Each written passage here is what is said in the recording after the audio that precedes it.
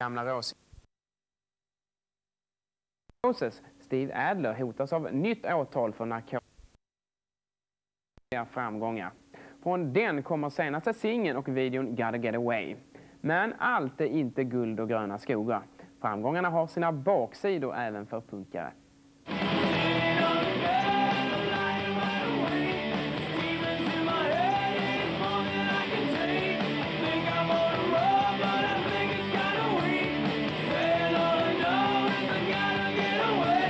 You know, we're on tour a lot. We've been on tour for almost a year now. So we, we don't have any home life really. We kind of live out of live out of a duffel bag, live on the bus.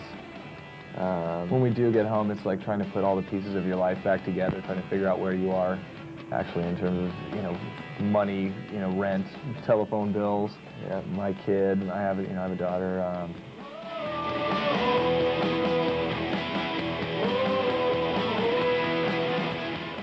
it was very easy to be anonymous before. I mean, that's not the case anymore. Yeah. You, know, you can't just go home and disappear if you want, because people recognize you sometimes. You know, people, people, they might come up to you and ask you for an autograph, or they might come up and say, "I hate you."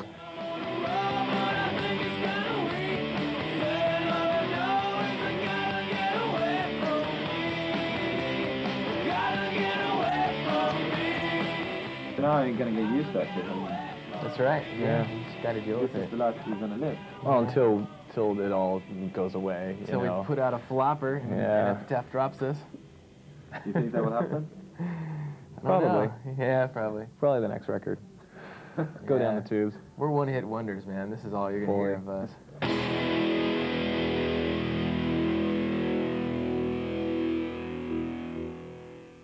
Offspring